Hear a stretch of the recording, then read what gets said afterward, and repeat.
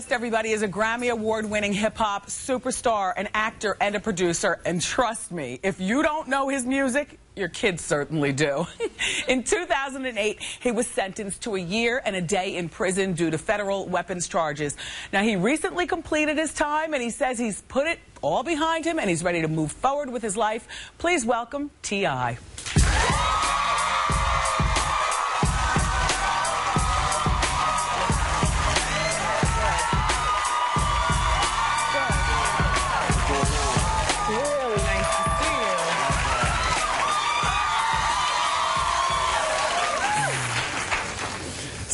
time I saw you, I was on the radio, and you Uh-huh. had on sunglasses and a hat, and, and it was a whole different kind of conversation, right? Okay.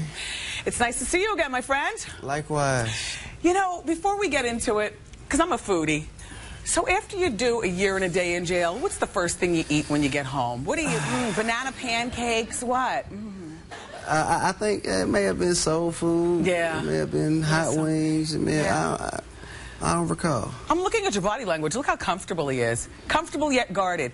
Your skin looks beautiful and your teeth look really good. Just a handsome man. Thank you. So for those of you um, who are not as familiar, I'll catch you up to speed. Back in 2007, T.I. tried to buy guns from an undercover federal agent. He was in a parking lot of a major chain. It was the evening of the, it was the day of the big BET Awards in his home city of Atlanta. There were guns and silencers and all kinds of stuff, and that particular situation almost ended your career. Yeah. What was going through your mind at that time where you thought you needed such, you know, such hard artillery or, or anything at all and silencers? Well, you know, threats were made on my life. Attempts were made on my life, and lives were claimed in my presence.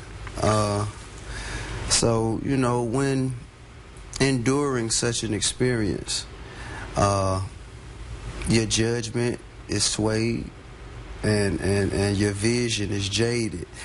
And um coming from the environment that I came from, I think anytime any of us experience life altering circumstances, Yes. we resort back to our, I guess, our our natural. Our, our natural Instinct. reaction, our instinctive reactions, and coming from where I came from, that was my instinctive reaction. Okay, to, to put it in perspective, uh, several months before um, the incident that happened with the guns that subsequently led him to jail, he was in Cincinnati and he was with some of his people, and one of T.I.'s friends um, died in a shootout. There was a shootout, a hail of bullets. I remember Yeah. reporting it in my old life on radio. It was like 50 bullets, and so he, he, was, he was scared. Whereas I mean, you know, I mean, I, I I aware. I mean, I was, I was, there was some, there was, I think it was fear in the form of paranoia. You know, I just had an extreme concern, and and and there were a rash of home invasions going on in the city at the time. He's got six children and a fiance, Yeah. so he's a family. I have a, uh, you know, I have a family to to that, that, that whose lives and, and and safety that I am responsible for. Right. And you know, I'm not going to make any excuses to excuse my behavior. I'm Yeah. just in the best way I know how to attempt and to explain it. but you've had some time to, you know, rethink things. So what are you doing in your life differently now so that we don't have to um, hear about anything unfortunate like that? Because, you know, um, street violence, guns have claimed the lives of so many hip-hop icons like Biggie and Tupac. And it, I, I guess, you know, you had flashes of your life possibly ending the same way for you to be, in, you know, involved in such behavior. What are you doing differently now? Uh, well, I think that I'm applying thought to my actions a lot more, and, and I'm examining my environment before I place myself in them. Yeah. You know. Yeah. So um, you just got out of jail, and we were talking about you here on Hot Topics here on the show. Okay. You know, we do the Hot Topics, and um, you know, T.I. everybody made a surprise visit to the Woodland Middle School in Georgia, and we talked about it on Hot Topics. Uh, you know, I'm a parent. Um, you've met our son before. The parents were upset that you spoke to students without their permission. Okay. Um, and it was like a big hubbub. I'm sure you heard some of some Yeah. of the, the comments afterwards. Yeah, I did. Uh, what's your thought on those parents and their thoughts on you coming to the school? Um, well, to be perfectly honest, uh, speaking freely, if I may, I, I honestly believe that they should be more concerned with the message than the guy giving the message. Yeah. I think they should ask their children, they should have asked their children, what did you hear? What did he say? Or how about they could have come to the school and sat quietly Yeah. and heard the message yeah. themselves? Well, also? that was after the fact. Their Yeah. complaints came after the Yeah. fact. I think they should have said, well, okay, what, what, what did this guy tell you? And I think the message is more important than who's giving it because if you have someone, an accountant, a dentist, uh, uh, you know, someone else coming in giving the same message, Right. it won't be received. Yeah. And if the message isn't received, then it doesn't matter who's giving. In other words, the kids relate to you, so sometimes the message of stay in school and do the right thing is better heard when it comes from somebody that the kids look up to. And T.I. also, um, I read about that, that he didn't insinuate himself on the school. Absolutely He not. was invited to the school. And, um, and anyway, how's Tiny? How, uh, Tiny is um, his fiance of eight years. Tiny's been supportive of you through the year. There they are. Uh-huh. Cute. She's, she's doing good. Yeah, man, she great. So her support, I mean, she's been your rock through it all, you know? Yeah. Did you buy her a nice gift when you got out? I did okay. Yeah, I'll bet. All right, I want to hear more. T.I. hear more? Okay, T.I.'s going to stick around, everybody. After the break, we're going to talk about more family life, his upcoming album, and his movie. T.I. is here.